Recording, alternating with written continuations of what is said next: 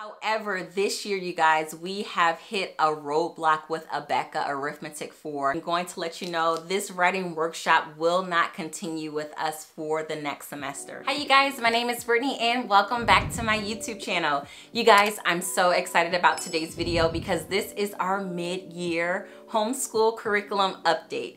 So my daughter has worked so hard this year. I feel like she deserves a really serious pat on the back, a serious clap. Brie, if you ever go back and look at these videos, I just wanna let you know, mommy, I am so proud of you. You have worked so hard this semester. So you guys, um, if any of you are new here to my channel, again, I'm Brittany. I am a homeschooling mom to a 10, 3, and a 1 year old. We are in our second year of homeschooling. We are pandemic homeschoolers. we actually started homeschooling due to the global pandemic. And now you guys, we are in this for the long run. And I'm so excited for our journey. And I'm so happy to have been documenting our journey thus far. So, let's go ahead and get on into all of the curriculum that we have used, what we are loving, what is staying, and what is going.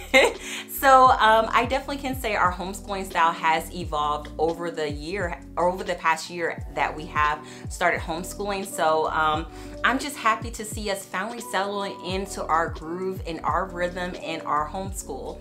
So you guys, I'm going to make sure I do my best to make sure I put chapters into this homeschool mid-year curriculum update because I already know um, I'm going to go through a lot of curriculum and if you guys want to skip ahead and just maybe see math, language arts, science, etc., you will have the opportunity to do so. Hopefully this video is not too long, but I do want to give you guys as much details as I can because these videos, you guys, as a new homeschooling mom, has been so helpful for me when I've watched them. So I really hope that today's video can help any of you guys that are new, searching for a curriculum, having problems with your curriculum, uh, to kind of just see how things have been going here in our household.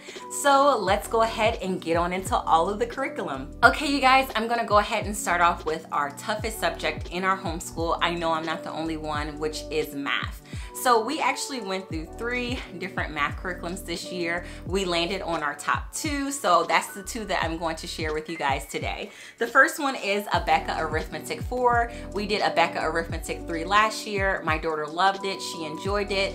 However, this year, you guys, we have hit a roadblock with Abeka Arithmetic 4 just because this says four, I just wanna let you guys know, this book is primarily fifth grade math.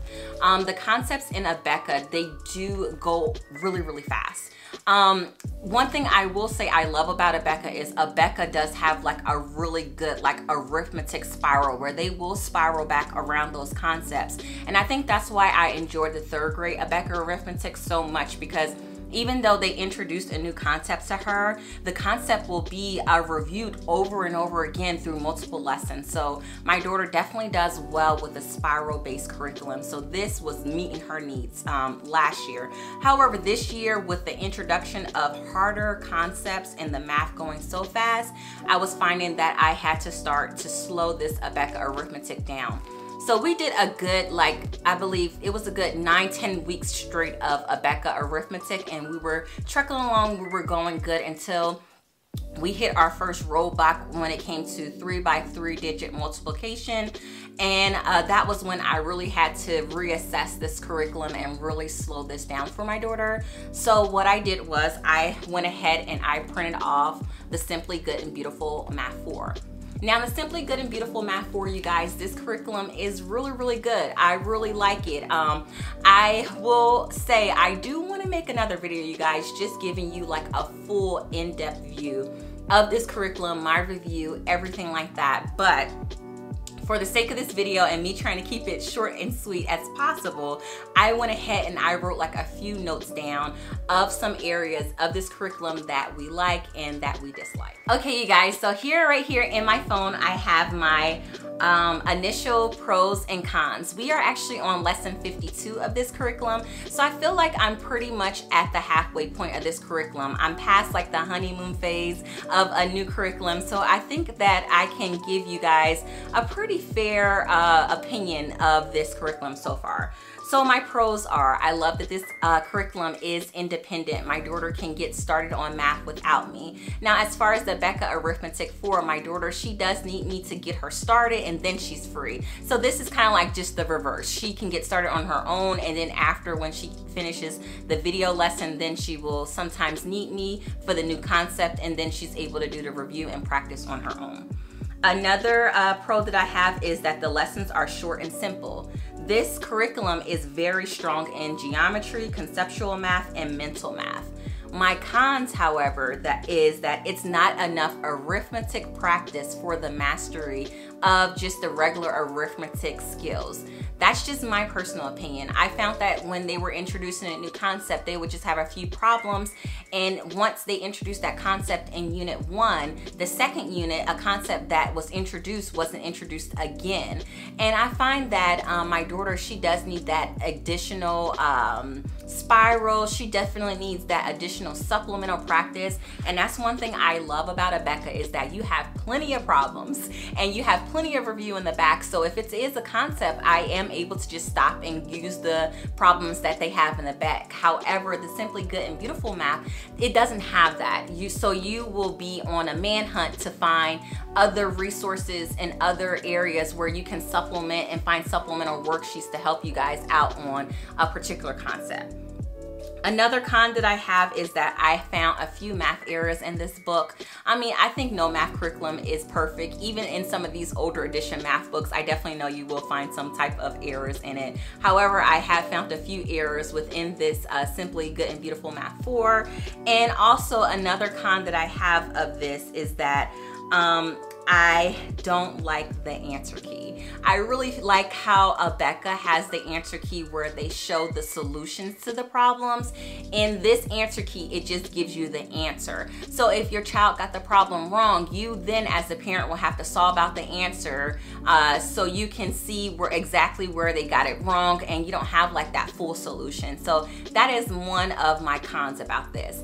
I do have a lot more to say about this Simply Good and Beautiful Math 4. If you guys want me to make a separate video, I definitely will. Um, however, I will say that this math, it is actually working for my daughter. Um, I think no math curriculum and no curriculum in itself is perfect. And I think you really have to take the pros and the cons with it. But I will say putting these two curriculums together has been a good marry for my daughter. So right now we're doing four lessons of the Simply Good and Beautiful Math 4 and we're doing one lesson of the Abeka Arithmetic 4. Sometimes we will do three and two, so it just depends. However, I know by the end of the school year, we will have this one, this math curriculum finished, and this math curriculum, Abeka Arithmetic 4 has 170 lessons. I looked at it and I just calculated it from where we are at. Uh, we probably will end off the school year in about a lesson 100 in this book. So um, my daughter is doing good. These two curriculums, they work for her, so I'm just gonna stick with what works for her. However, next school year, for fifth grade, I'm not too sure how I really feel about the Simply Good and Beautiful Math 4, if we will continue with five or not. So um, I'm still kind of like up in the air with it, but for right now, it is working. Okay, you guys, let's go ahead and get into language arts. Now, language arts, you know, of course, it has like a plethora of categories, spelling, grammar, writing, all the things. So I'm just gonna go ahead and start off with our main grammar and composition, which has been Rod and Staff Building English series, Building Christians English series. You guys, like my daughter, she absolutely loves this curriculum and I love it too. I'm gonna be real honest with you guys. I really don't have many cons with this curriculum. The only con that I can think think for someone else coming into this curriculum will be that um, you do have to get your kids started off with the lesson. They can't just read this on their own and get started. You will have to do like the oral drill, kind of get them set up and then they're, they will be independent after that. However, I am finding that um, for me as far as my instruction time it's really uh, it really varies it's between like 8 10 minutes has been the longest I've spent on a unit with my daughter or on a lesson with my daughter before she is off on her own. But for the most part, I would say it's really between six to eight minutes of my parent time before she's independent. I love how simple the instructions are. Um, I love the oral drills in the beginning. It really gets her brain thinking and it really has a good way of bringing in those concepts from previous chapters and bringing them into the new lesson. I really will say that this uh, grammar curriculum is very thorough. Um, it is it's really strong. This is like a, a, a older Mennonite English curriculum. So you will have like older terms and different things like that. It's really simple. It's black and white. It's no fancy frills. However, just the, the way that the text is written is really simple and my daughter, she really loves these English lessons. So Rod and Staff, I think honestly, you guys, this curriculum is probably here to stay for the long run because that's how much my daughter loves it. So uh, Rod and Staff, it has been amazing for us. Now, as far as spelling, you guys, we went ahead and we did Evan Moor's Building Spelling. Um, this spelling skills has been amazing. I love the fact that it has like the uh, spelling dictation, it has the word study, it has like crossword puzzle, it has activities, and um, it's really, really simple and easy. My daughter is able to get done spelling in like 10 minutes top. I will say my daughter, she actually completed this whole uh, book this semester. So this is the spelling grade four. I do have the next level up. However, because my daughter is really, really strong in spelling, I decided to uh, finish to, to not do any more spelling for this uh, remaining school year and to go ahead and pull out our new Wordly Wise. So we will be starting Wordly Wise. How I think I'm going to use this Wordly Wise is going to be kind of like a vocabulary and spelling. So the vocabulary words she has for the week, I will turn those into a spelling list and like test her on the words, how to spell them and their meaning at the end of the week. So um, this is going to replace this right here for this semester. I haven't uh, tried Wordly Wise just yet, so this is gonna be our first time trying it. I heard good things about it, so hopefully we will enjoy it as well. It looks simple and uh, to the point, so I think my daughter is gonna like it. But as far as our review on Evan Moor's Building Spelling, we are going to continue with this spelling series until we level out. It has been amazing. So as far as reading comprehension, you guys, we use these reading tests from Scholastics for reading comprehension. It has uh, the reading comprehension part. It has a portion where it has vocabulary for synonyms and antonyms. And um, this uh, reading comprehension skills has really been amazing for my daughter. I've noticed her skills as far as reading comprehension get better and better as she has gone through the test. We actually work on these tests on Friday. She does one test a week and we are actually done with this grade level four. This booklet has 15 tests in it, so of course uh, we, we finished them all this first semester. So for second semester, I went ahead and I purchased the next set, which is the written test grade five. So she's gonna go ahead and start this one off in January. So I'm so excited for us to continue with these reading comprehension. If you guys need a short, simple reading comprehension, straight to the point paragraphs, multiple choice questions, this simple workbook is really, really for you. This book is only like $3.99, so it's definitely worth the money. My daughter loves it. It's simple, it's to the point, and no complaints about this. I feel like it's getting the job done. Now, as far as handwriting, you guys, we continue with handwriting without tears. We did handwriting without tears uh, cursive last year. So this is the second part of their cursive book, which is the cursive success. My daughter loves it. One thing I will say that she does, or she told me that she did enjoy about the handwriting without tears is that she likes how it actually gives them the full instructions on how to create the cursive and the writing. Um, she really enjoys that. My daughter, she's still working on mastering her cursive. However, I have seen such big improvement with her cursive handwriting this school year. So we didn't do this as faithfully as we did last school year. However, this semester, I told my daughter we are going to pull this bad boy out and we're going to get more consistent with it. So uh, handwriting without tears, it's been amazing. No tears, so yeah.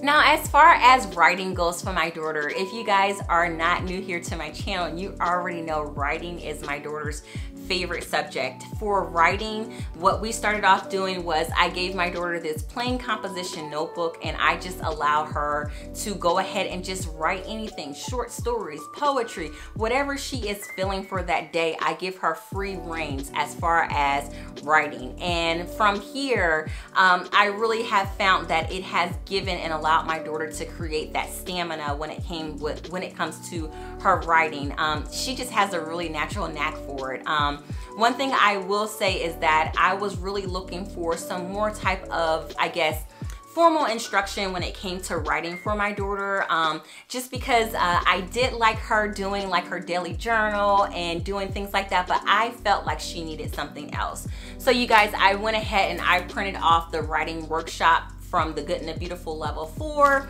and she did this writing workshop. She did all the way up until let's see we made it to lesson 37 in this writing workshop and you guys, I am going to let you know this writing workshop will not continue with us for the next semester. And it's actually not anything wrong with this writing workshop while we're not gonna continue it. This writing workshop, you guys, is really amazing. Even if you have like a reluctant writer, I really feel like the way that the writing workshop gives the instructions, it's really, really great. Uh, it really gets your kids thinking and it really just gives them that confidence and that stamina to start writing words on uh, the paper. So so I really did enjoy the writing workshop. However, I'm just finding that with my daughter just having a natural knack for writing, doing things like uh, her daily writing journal, um, her actually typing up stories on the computer, she's actually getting that formal writing in without needing like that formal curriculum. One thing that we have done is that some of her creative writing, I will print it off after she's typed it and we go over the errors she has made as far as punctuation and run on sentences and commas and different things that she has learned within her uh, grammar. We have been uh, just doing it that way. And I'm finding by giving her this writing workshop, I'm actually giving her just busy work because she is naturally uh, getting her writing in in various subjects. My daughter actually completed a really big project this first semester. She did a, a African mammals project where she had to research six African mammals. She had to find credible sources. She had to uh, be able to turn in uh, information into her own words. Uh, she had to, uh, it was a lot of things she had to do with that uh, writing project. And I really found that by her doing something outside of a formal curriculum, she actually was able to learn so much more with writing.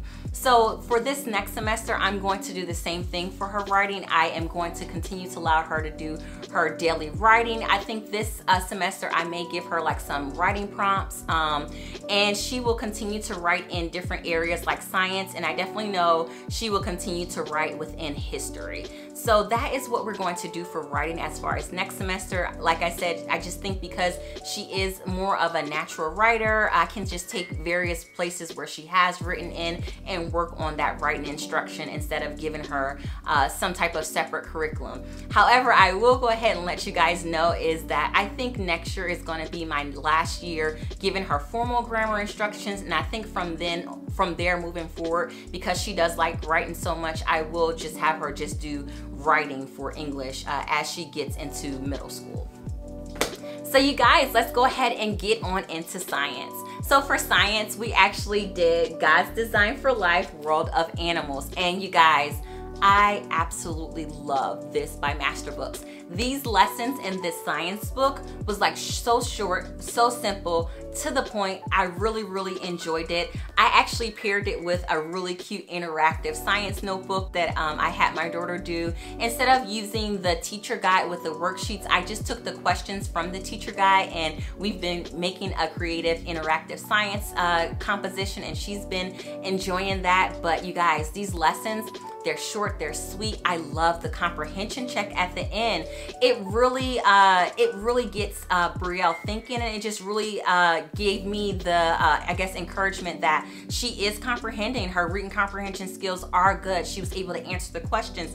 And if she didn't know the question, I would have her go back through the text and find the answer to the question. And it just really worked on those reading comprehension skills as well. Um, the lessons, the way that they word it, it just pulls you into the stories. And um, this is really, really good. I cannot wait for us to start the human body next. We have a few more um, lessons left in the world of animals, but you guys, this right here is a keeper. I think we wanna go ahead and continue with the rest of the master book series. Uh, to some people, one thing I will say a con might be is some people might feel like you're just reading a text and that's it. They do have some activities, but it's not like heavily activity and experiment based. So if that's something that you're looking for, this may not be for you. But if you just want a short, simple lesson, maybe a few activities sprinkled in here and there, this science curriculum is definitely for you.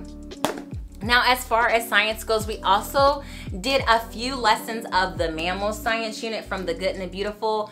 You guys, I like this, but my only con about this is that every single lesson had some type of activity that I had to cut, get prepped, get prepared, and I found that a lot of times when it came to do science, I would just put it off just because I didn't want to have to do the extra work that was required from the good and the beautiful science. Now I will say the Good and Beautiful Science, I mean, it is good. It's nice. Um, it's really hands-on based. It will have an experiment every single lesson. You will have something that you have to cut, you have to glue, some type of experiment you're gonna do every single lesson. So you as the mom, if you have the stamina to do that every single time it comes time for science, if you don't have like younger kids like me, uh, where you don't have to really worry about that, you really have like uh, all school age kids, this science curriculum may be uh, good for you. However, I personally find that now in the season of life that I'm in, I uh, am not picking this up as much just because I know the amount of effort that it's going to require of me. Um, again, this is these science units, they are good. I like the way the information is presented.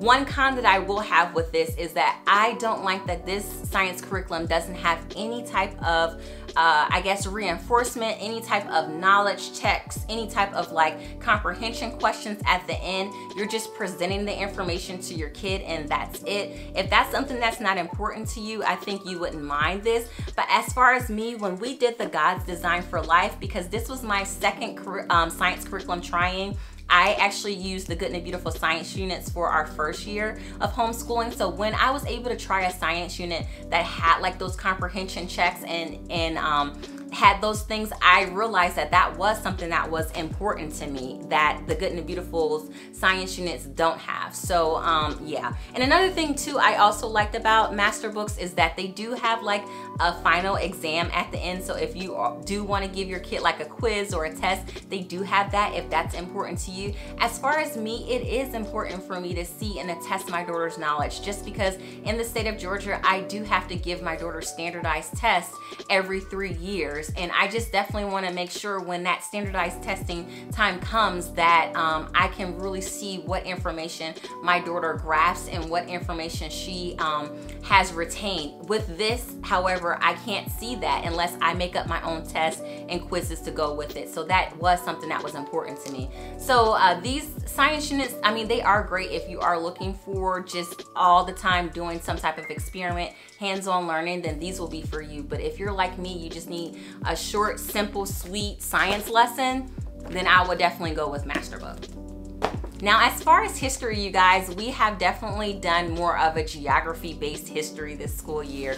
We have done the Amazing Africa unit by the Heritage Mom blog. And you guys, we definitely have been enjoying this Amazing Africa unit. This is just taking us through each country. We are reading picture books. We are uh, learning more about each and every country. After we learn about each country, I have my daughter color a flag and she writes a paragraph about what she learned about the country. Some of these uh, in this unit, some of the countries have videos that we are watching to go along with it. And it's really been amazing. It's really uh, given my daughter a chance to experience another country. And she has definitely been loving this. I wanted to be finished with this amazing Africa by the end of this semester. However, you guys, we have about eight more weeks left of this. So we're actually not gonna be finished with this until the end of February, which honestly, I don't really mind now because we are going to get a chance to finish this during Black History Month, which is going to be kind of like amazing. So um, yeah, so we will have this finished by the end of February. And then after that, I do have the Beautiful Feet Early American um, or is it early American intermediate history. I already have that. It's up here in my um, curriculum uh, haul, my curriculum storage back here. So I do have that ready to go for us to start American history if we will start it. However, I'm kind of contemplating. I really don't know if we are going to start American history this year or if we're just gonna wait until the fifth grade. Um, honestly, we're just gonna kind of see.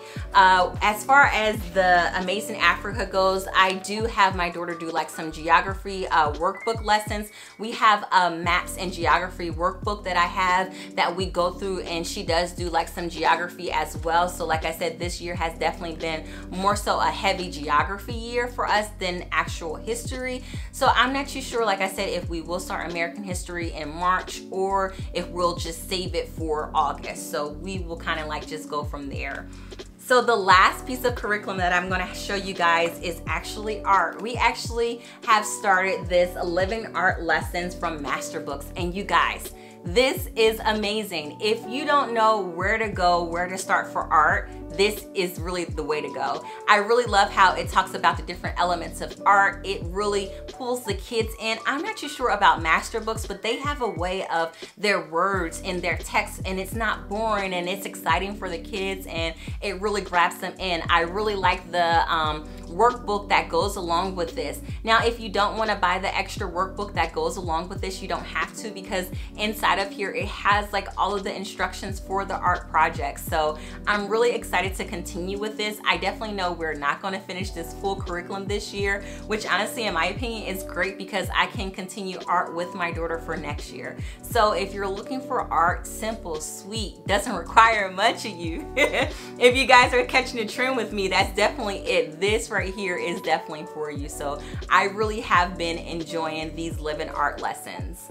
Um, let me see. Oh yeah, you guys, as far as other electives, you guys, my daughter has done piano through Hoffman Academy. She's doing really, really great. I believe my daughter is in unit four of the Hoffman Academy, so she is learning how to play the piano. So that is another elective that she's doing.